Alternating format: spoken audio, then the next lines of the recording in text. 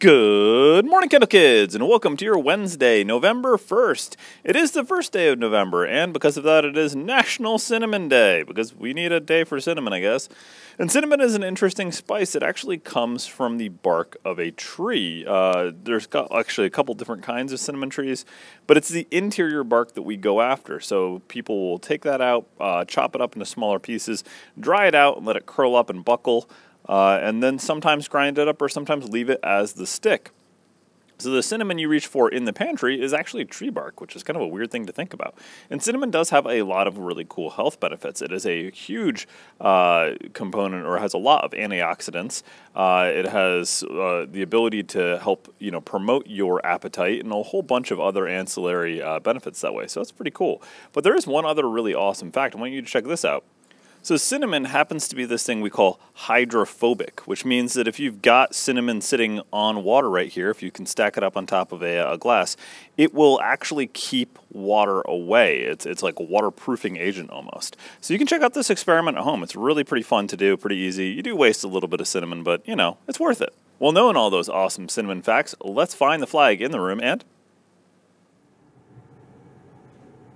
Please rise for the flag salute.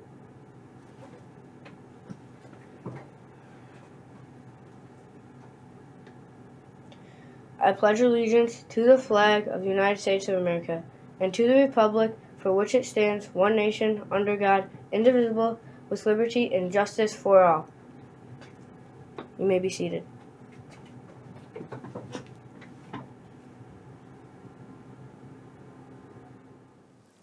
All right, you crazy kind of kids. Let's talk a little about food for the day. Well, we happen to have a PB&J sandwich on the menu with string cheese and chicken tenders, broccoli, uh, or sorry, chicken tender wrap, broccoli, applesauce, and milk. What's going on with that weather outside? Well, it is unseasonably cold, and I mean, even for November, this is cold. Uh, we're looking at a high of only about 41 degrees today. Usually, the high is in the low 50s at this time of year, so we are considerably cooler than we should be.